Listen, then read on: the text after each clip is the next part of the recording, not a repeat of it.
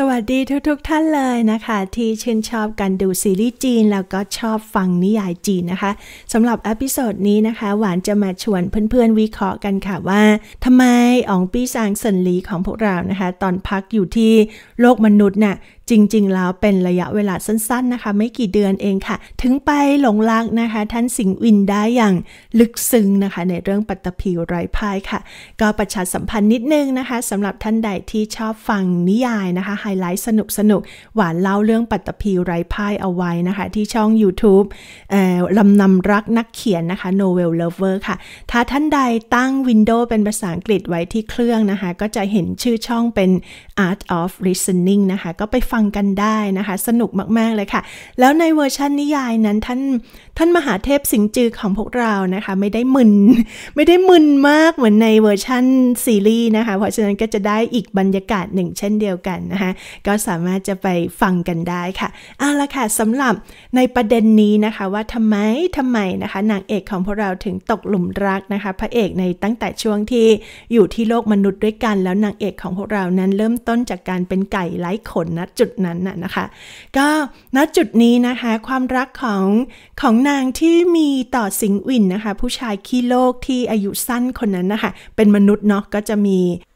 อายุไขสั้นกว่าพวกเซียน พวกเทพ พวกปีศาจอยู่แล้วนะคะ เป็นเรื่องธรรมดาค่ะ ความรักนะคะเป็นความรักที่เกิดขึ้นแบบลึกซึ้งด้วยไม่อย่างนั้นเนี่ยท่านอ่องปีศาจของพวกเราก็คงไม่ถ่ายทอดนะคะ พลังบำเพ็ญนะตบะถึง 500 ปีให้กับผู้ชายคนนั้นนะคะณจุดนี้ก็สร้างความเขาเรียกว่าอะไรความลึกซึ้งแล้วก็ความโรแมนติกเข้าไปอีกนะคะ ประมาณว่าให้ไปเลยโดยไม่หวังอะไรตอบแทนนะคะ แล้วข้านี่ก็จะลืมเจ้าให้ได้เพราะราะว่าสิงอื่นนั้นก็มีเพียงคนเดียว แล้วถ้าสิงอื่นนั้นต้องตายไปก็ต้องไปเเข้าสู่การเวียนว่ายตายเกิดอีกนี่เป็นความคิดของนางเอกของพวกเรานะคะ เพราะฉะนั้นเขาก็จะลืมนางไปอยู่ดี เพราะว่าต้องไปจุดไปเกิดใหม่ ไปเกิดใหม่อยู่เรื่อยๆนะคะ ซึ่งณจุดนี้นะคะมันก็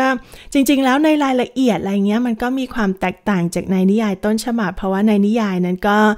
นางเอกของพวกเราไม่ได้มีการมอบไอ้ทักษะการบ่มเพาะอะไรของนาง 500 ปีให้กับทางด้านสิงวินเลยนะคะ ไม่มีนะจุดนั้นแต่ว่าในละครก็สร้างมาให้กลมกล่อมมากยิ่งขึ้นนะคะ ได้เห็นถึงความความรักความปักใจอะของท่านอ๋องปีซางของพวกเราที่มีต่อสิงวินนั่นแหละค่ะสิ่งที่ตาของสิงวินเห็นนะคะเห็นความเป็นนางเอกในช่วงแรกเลย คือไม่มีอะไรที่สวยงามเลยเอาง่าย ๆ ค่ะ เพราะว่า ตอนที่ลงมานะคะในอย่างในเวอร์ชันละครอ่าเรายึดในละครเป็นหลักกันแล้วกันค่ะ ก็คือขนนะคะขนแล้วก็หางของนางเนี่ยถูกไฟไหม้ไปหมดเลยค่ะ ก็ณจุดนี้นะคะก็ทำให้เป็นไก่ที่ดูน่าเกลียดมากๆเลยนะคะ แต่ว่าก็เป็นอะไรที่ที่สร้างความน่ารักน่าเอ็นดูให้กับสิงวินซึ่งก็คือท่านสิงจือ ซึ่งเป็นมหาเทพนั่นเองแต่ว่าก็เบื่อเนาะอายุยืนยาวค่ะ ก็ลงไปใช้ชีวิตบ้างในบางครั้งที่โลกมนุษย์นะคะ แล้วก็ไปเจอนะคะกับทางด้านท่านองไก่ของพวกเรานะคะ เพราะว่าได้รับบาดเจ็บนั่นเองก็เลยเออมาคอยแบบป้อนยารักษาให้นะคะ แล้วก็ทำอาหารให้ทานนะคะ ซึ่งท่านสิงจือหรือว่าอยู่ในรูปของมนุษย์สิงวินเนี่ยทำอาหารได้อร่อยถูกใจนะคะ นางเอกของพวกเราเป็นอย่างยิ่งค่ะ ทีนี้ในหลังฉากที่สนหลีนางเอกของพวกเรานั้นฟื้นขึ้นมานะคะ ในภาพที่นางเห็นสิงวินเป็นครั้งแรกที่ลานบ้านเนี่ย ภาพนั้นก็เป็นภาพที่ประทับใจมาก ๆ ของของนางอยู่แล้วนะคะ แล้วก็ที่พักของทางสิงห์วินนี้ก็เป็นอะไรที่สงบ เรียบมากๆค่ะ มีมีแบบบ่อน้ำสระน้ำเล็กๆนะคะ แล้วก็มีพวกลานหินอย่างเงี้ย แล้วก็มีซุ้มองุ่นนะคะ ซุ้มองุ่นนี่ถือว่าเป็นเป็นจุดเด่นของนิยายเรื่องนี้มาก ๆเลยนะคะ แล้วก็ในส่วนของไฮไลท์ที่เป็นละครก็เอามาด้วยนะคะ ซุ้มองุ่นต้องเอามานะคะ แล้วจะต้องมีเก้าอี้โยกไม้ด้วยนะคะ ซึ่งก็เป็นสัญลักษณ์ของเหมือนกับแบบ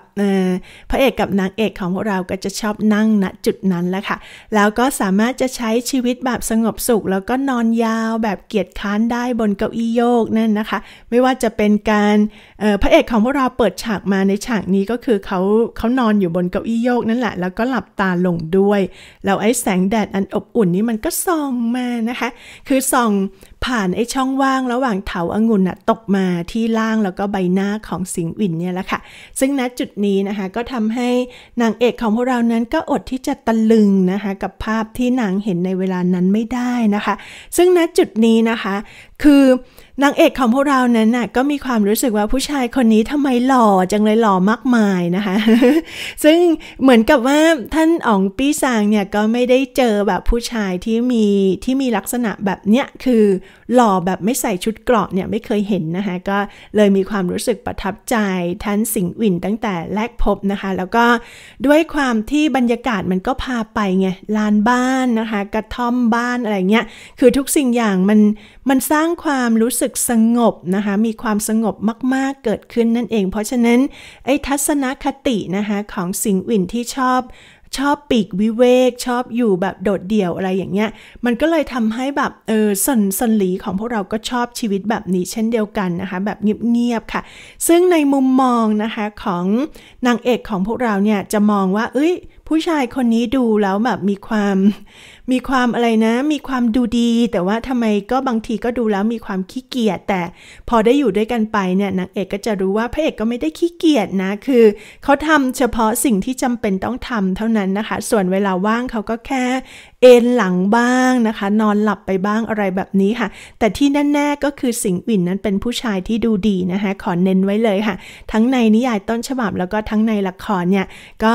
นางเอกของพวกเรานั้นก็ก็ปิ๊งอะปิ๊งสิงห์วินณจุดนี้ด้วยนะคะ แล้วอะไรที่ยืนยันว่าสิงห์วินนั้นเป็นมนุษย์ที่แบบมีความหล่อเหลา นั่นก็คือผู้หญิงที่อยู่ข้างบ้านไงเสี่ยวเถาไงเพื่อนๆ เสี่ยวเถานี่แอบตกหลุมรักสิงห์วินชายขี้โลกนี้มาตั้งนานแล้วนะคะ ถึงขนาดที่ว่าพอสิงห์วินไม่อยู่ที่บ้านเนี่ยยังแอบเข้ามาในบ้านทุกอาทิตย์เพื่อมาแอบทำความสะอาดให้น่นนี่นะคะ ก็นี่แหละค่ะเป็นเครื่องการันตีความหล่อของพระเอกของพวกเราได้นะคะ นี้หลังจากที่นางเอกของพวกเรานั้นนะคะ แบบฟื้นตัวขึ้นมาดีแล้วอะไรแบบนี้ค่ะณจุดนี้พระเอกนั้นก็ยังไม่ยอมนะคะ ที่จะให้นางเอกนั้นมีร่างเป็นมนุษย์อยู่ตลอดเวลานะคะ เพราะฉะนั้นในช่วงแรกเนี่ยก็จะวางค่ายกลเอาไว้อย่างนั้นแหละค่ะแล้วนางเอกก็มีความต้องเป็นไก่อยู่นะคะแล้วเวลาจะอาบน้ำไก่แต่ละทีนี้ก็เอาไปวางไว้ใน ไว้ในไอ้เหมือนกับอ่างน้ำที่เขาใช้ล้างสมป่าที่ไปเก็บมาได้นี่แหละนะคะ ซึ่งณจุดนี้ก็เป็นอะไรที่ขำๆมากเลยค่ะ คือร่างที่แท้จริงของนางเอกเนี่ยเป็นนกฟีนิกซ์นะคะ เป็นหงเพลิง เพราะฉะนั้นนางไม่ชอบไม่ชอบที่จะแบบลงน้ำไม่ชอบอะไรแบบนี้ เพราะนางเป็นไฟไงเพื่อนๆไฟกับน้ำมันไม่ถูกกันนะคะเพราะฉะนั้นแล้วในช่วงแรกที่ ที่แบบสิงวินก็จับนางลงไปแบบแช่อยู่ใน บางทีก็แบบผักตกลงไปในสระบ้าง บางทีก็ใส่หรือแช่ลงไปในอ่างล้างไอ้โสมบ้างอะไรแบบเนี้ยก็จะทำให้นางเอกของพวกเรานั้นแวดแวดแวดอยู่นะคะก็ถือได้ว่าสร้างเสียงหัวเราะได้มากทีเดียวเลยค่ะ ซึ่งณจุดนี้นะคะก็เอาเป็นว่านะคะนางเอกของพวกเรานั้นเห็นถึงความอ่อนโยนนะคะของสิงห์วินค่ะ ถึงแม้ว่าปากนี่โอ้โหนะคะปากจะมีความเสียดสีมีความแซะแล้วก็ชอบแกล้งนางนะคะ แต่ว่า